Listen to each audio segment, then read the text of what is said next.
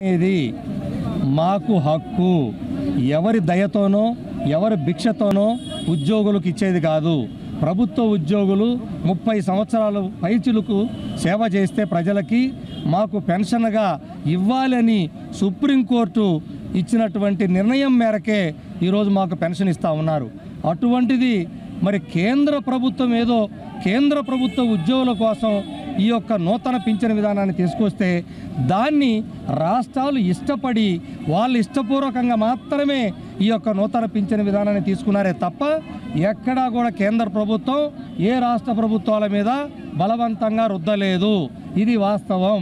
కాబట్టి రాష్ట్ర ప్రభుత్వాలు ఎప్పటికైనా మేల్కొని మీరు ఇది రాష్ట్ర ప్రభుత్వం యొక్క బాధ్యతగా గుర్తించి మాకు ఉద్యోగులకు ఇచ్చేటువంటి సామాజిక భద్రత అయినటువంటి ఈ పెన్షన్ని పాతర్పించని విధానాన్ని తిరిగి పునరుద్ధరించాలి. దీనికోసం కులాలకి మతాలకి ఉద్యోగులకి ఉపాధ్యాయులు తేడా లేకుండా అందరం ఏకమై ఇప్పటికే రెండు సంవత్సరాల నుంచి ఏపీ సిపిఎస్ ఎంప్లాయీస్ అసోసియేషన్ రాష్ట్ర వ్యాప్త ఉద్యమం చేస్తుంది. ఆ ఉద్యమానికి ఏపీజేఎస్ అమరావతి గత సంవత్సరం నుంచి తోడైంది.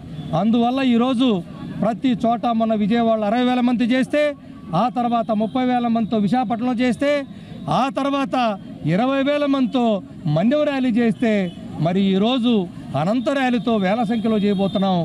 రేపు టెక్కిరిలో ర్యాలీ చేయబోతున్నాం. అదేవిధంగా మరలా సొంత చంద్రబాబు నాయుడు గారి యొక్క కాన్స్టెన్సీలో కూడా పద్దెనిమిదో తారీఖు నెల ఈరోజు అనంతపురంలో ఏప్రిల్ ఒకటిన ఆనాడు స్వాతంత్రోద్యమ పోరాటంలో మహాత్మా గాంధీ గారు బ్రిటిష్ వారిని పారదోలడానికి మరి బ్రిటిష్ వారి బానిసత్వాన్ని పారదోలడానికి క్విట్ ఇండియా ఉద్యమాన్ని నిర్వహించారు.